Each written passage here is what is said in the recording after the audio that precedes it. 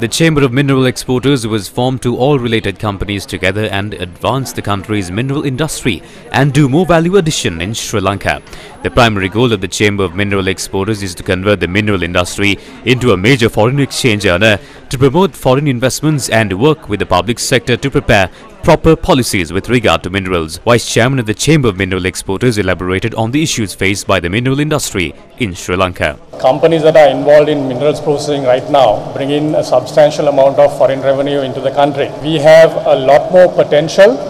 Land rights used tend to supersede the mineral rights, whereas in most other countries it is the other way around. Uh, yes, Sri Lanka also has the necessary framework in place, but unfortunately it is not implemented in the best possible manner. Then we would also like to ask the authorities to ensure that there is a proper survey of the mineral resources done for whole of Sri Lanka.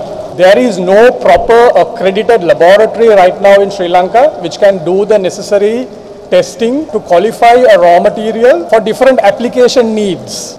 See, a mineral company has to deal with a minimum of eight different government agencies for us to function on a day-to-day basis. You can imagine how difficult it is to go and deal with one government agency. Because no, no, no investor is going to come and invest in a country where the permits and the licenses are only valid for one year.